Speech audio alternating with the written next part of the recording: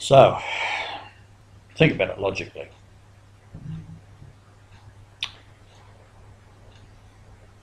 Uh, there's a Lord telling Moses to kill a man for picking up sticks on a Sabbath.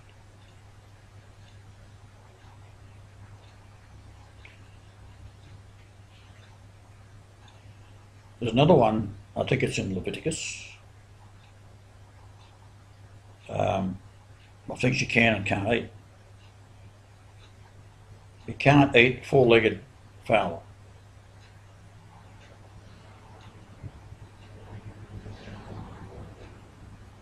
Another one, if it's got feet below its legs.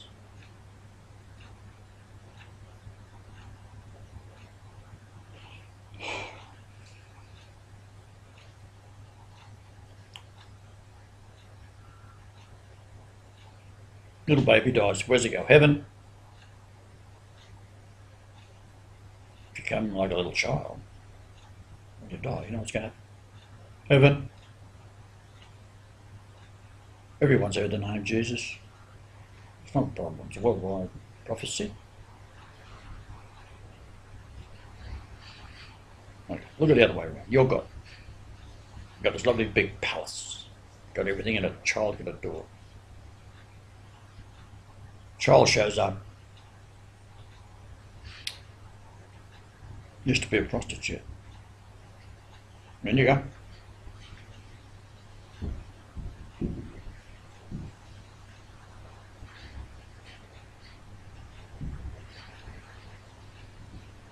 I was severely criticised for actually doing what Ash suggested. And there's this beautiful woman in a very small pair of jeans shorts. Oh, absolutely gorgeous. And she's wearing a white shirt.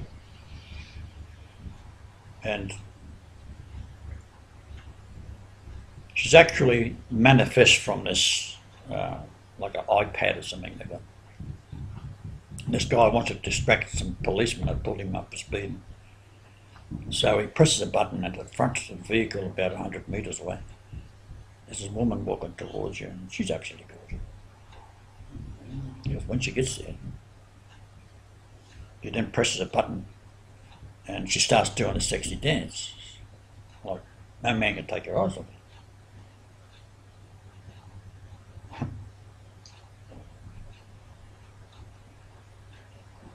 While the cops are looking at these two, and uh, the uh, two cops are looking at this woman dancing, the guy jumps out the other side and he races on. He goes to top hill. He thought, oh, he ends up there having a rest, leaning against a tree, thought thinking to himself how smug he is, that he's going to create himself another gorgeous babe, which he does. And she's crawling towards him and everything's hanging out. Looks gorgeous, you know. Then the battery goes flat. That's what happens when you're 69. So I got criticised. Now, the point is this a person who believes in me 100% doesn't criticise God for getting a job done that they have no comprehension of how it has to be done. And if I was to attract a thousand men to that by this gorgeous babe and win one of them over, it's worth it.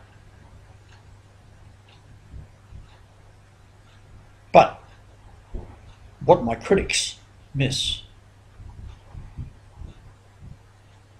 is that on her t-shirt she's got I, no, Jesus, a heart between his gorgeous breasts, loves me. That's what it means. I do.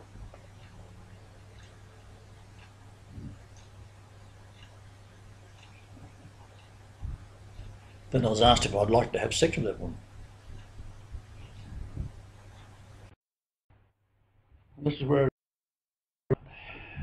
the idea behind it is to win over one man that is poking his head through the door of a brothel. That's what it's all about.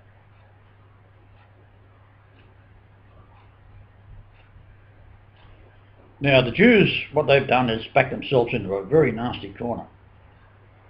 They believe this idiot of the Old Testament that's always given orders and how you've got to worship and if you don't, kill them. How they can take all the virgins for themselves and this is the same mentality,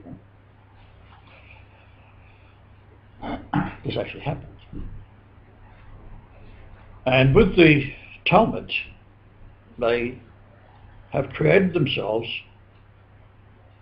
uh, to be surrounded by non-human beings in fact are animals in human form put on the earth to serve them.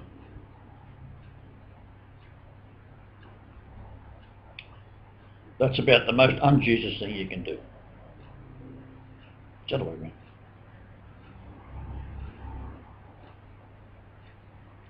But because of that, the laws that come through are so um, serious that if they go against them, it could mean their death. Sounds a lot like Freemasonry to me. Sounds a lot like the Vatican to me. Sounds a lot like Talmud to me. So you can't kill your way into heaven. Sorry.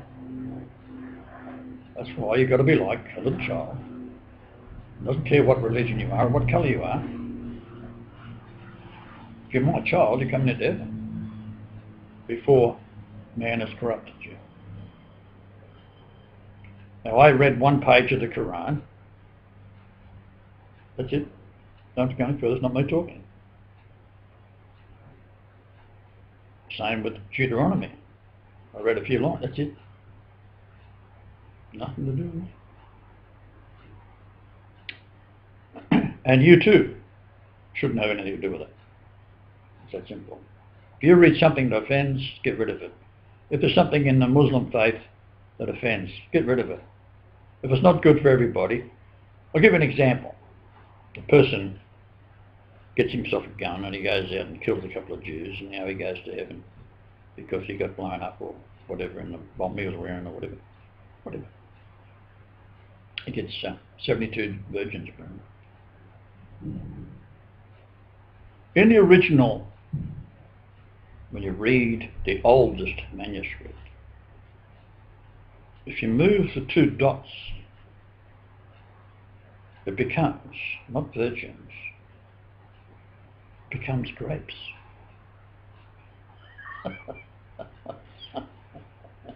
That's how fucking stupid you are.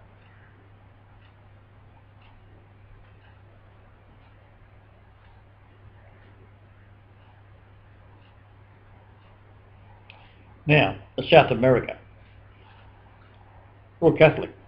I was born in a Catholic church. Wouldn't you think that the Pope would like to see me? If not, why not? Well, ask him. Yes, I have approached the Catholics, and they've been watching me and every move I make since day one. They knew exactly when I was going to be born because it's all in the Great Pyramid. It's all in the Mayan calendar. It's all in the crossing of the Milky Way galaxy. That's why the Catholics have a, a gigantic biocular. It's two mirrors, gigantic things, and can get the most accurate images of space even more accurately than the Space Hubble, even though they're dealing with the atmosphere to look through.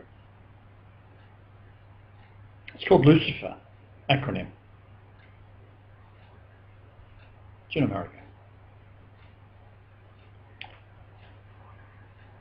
Just for the cost that thing, they could have fed Somalia. That's not the point, is it? What do you, what are you building telescopes for when you're looking for a Christ going to come back? You should have an application form in every fucking post office and every church. You think you're Christ, are you? Take a night, fill out the form. That's what it should be like. Or I should just walk into where they're saying the Lord's Prayer in the opening of Parliament. I just should walk in and say, I want in. Can you prove it? Yeah. Of course, I have done this with the Australian government and the government of Canada. which replied by, very nice about it, they tried to kill me. Yeah. So let's say I was a lunatic that wanders in off the street, got three kids, and I've, I've had this Kundalini experience, and I think I'm Jesus. Matter of fact, the lunatic asylum is full of people in it. And you walk in to a police station, or a court, or a church, or a government building, or parliament, tell them who you are. Uh, they would pounce on you and take you in. Don't even think about it. But what they should do is say, hey, why do you think that? And the guy will rave on about some lunacy. Okay, come with me. And they look after him and ensure everything's right. And he's got a wage and got to look after his family. And no matter if he's locked up in hospital, he should be getting paid so his family can still live. Because he's got Make sense?